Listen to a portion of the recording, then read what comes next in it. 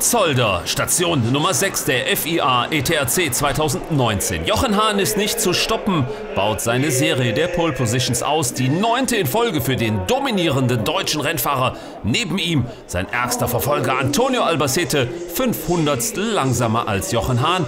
Und Adam Latzko auf Rang 3 hofft auf ein ganz spezielles Podium. Der Old-Style-Rennkurs in Belgien gehört seit Jahren zum Rennkalender dazu, ist exakt 4 Kilometer lang. Der Start zu Rennen 1 Onboard mit Latzko. Hahn bekommt die Power seines Trucks nicht auf den Asphalt, wird von Latzko attackiert. Albacete rauscht vorbei und übernimmt die führende Position. In Runde 1 Albacete, der Spanier vorne, dahinter Hahn und Latzko. Und in der Mitte des Feldes Dave Jenkins im Attacke-Modus. Der Brite schickt hier seinen Landsmann Ollie Janes im Freightliner mit der 22 in der Schikane mal kurz nach außen. Runde 10 bereits, Kurve 1. Jochen Hahn kann Albacete überholen. Der Spanier zuvor im Pech wurde vom zu überrundenden Orsini ein bisschen behindert. Deshalb Hahn also dran und vorbei am Spanier. Die nächste Runde Onboard von Norbert Kiss auf Position 5 zeigt in einiger Entfernung, wie Steffi Halm an René Reinhardt vorbeigeht und sich Rang 6 holt. Nach zwölf Runden die Zielflagge für Jochen Hahn, sein zehnter Sieg in dieser Saison. Es scheint, als könne ihn niemand schlagen. Zweiter wird Albacete, dritter Adam Latzko. Applaus für den Champion von 2018 und wahrscheinlich auch den Champion von 2019. Pulsetter in Rennen 2, Terry Gibbon. Wir fahren mit bei Antonio Albacete, der zeigt, dass ab Reihe 5 fast alle Trucks irgendwie in Schwierigkeiten geraten. Jenkins, Janes und Rodriguez mittendrin. Erwin Kleinagelfort mit der 15 muss auch durchs Kiesbett. Und Fabio Citignola, der junge Deutsche, im Mercedes mit der 24, knallt in Jenkins rein. Bei Citignola bricht eine Spurstange, deshalb also rote Flagge. Beim nächsten Startversuch kommt es in Runde 1 zu einem Unfall zwischen Orsini und Kleinnagelfort und deshalb funktioniert erst Start Nummer 3, den wir hier sehen. Zehn Runden sind zu fahren. Albacete auf Position 4 vor Latzko, Hahn und Kursim. Dann in Runde 3 die Top 8, weniger als 4 Sekunden auseinander. Reinhard, Halm, Kiss, Albacete, Latzko, Hahn, Kursim und Lenz. Wenig Überholmanöver, das karierte Tuch dann für René Reinhardt als erster holt sich den dritten ETRC-Sieg in dieser Saison. Dahinter Halm und Kiss, die das Podium komplettieren.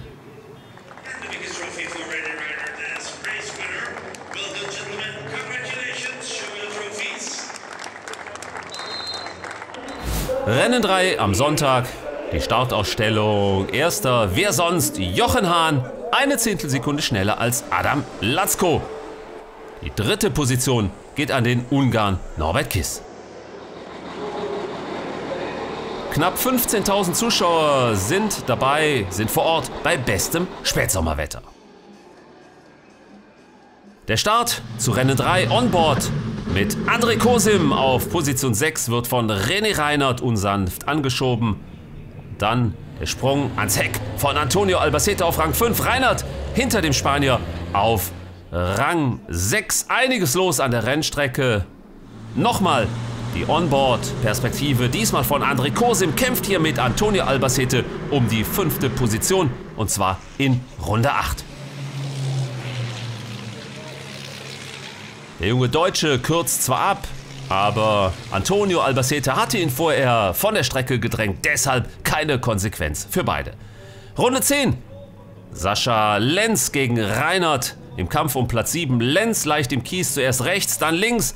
Simba, so heißt der Lenzsche Racetruck, gräbt sich ein das Aus für den Deutschen und die Zielflagge anschließend für Jochen Hahn. Saisonsieg Nummer 11, Adam Latzko auf Rang 2 und dann Norbert Kiss, beide rund 8 Sekunden zurück. Rennen 4 im Reverse Grid Modus, wie tags zuvor auch. Dieses Mal Jamie Anderson mit der 7 auf der Pole, zweiter René Reinhardt in seinem Iveco. Die Zuschauer also gespannt. Der Start, Jamie Anderson in Führung, daneben René Reinhardt in seinem blauen Truck mit der Startnummer 77. Aber Antonio Albacete übernimmt dann frühzeitig Position 2, während Reinhardt auf die 4 zurückfällt. Kosim geht hier vorbei. platziert sich auf Position 3. In Runde 1 Onboard bei Adam Latzko auf Position 6 hinter Norbert Kiss. Der Tscheche kracht ins Heck von Kiss. Eine Bremsscheibe ist bei ihm kaputt gegangen. Da kriegst du keine 5,5 Tonnen gestoppt. Onboard bei Albacete attackiert Jamie Anderson vor ihm, will die Führung und überholt den Briten in Runde 5. Und Jamie Anderson wird in der Folge auf den nächsten 800 Metern von fünf weiteren Trucks überholt, fällt zurück auf Rang 7. José Rodriguez, der Portugiese hier in der Boxengasse mit technischen Problemen, tritt nicht etwa seine Drive-Thru an, wegen Frühstarts. Antonio Albacete gewinnt am Ende, holt sich seinen zweiten Saisonsieg, verteidigt Rang 2 in der Gesamtwertung, sein Rückstand auf Jochen Hahn allerdings schon 85 Punkte. Applaus für die drei Erstplatzierten Antonio Albacete, André Kosim, René Reinhardt. Weiter geht's in zwei Wochen in Le Mans.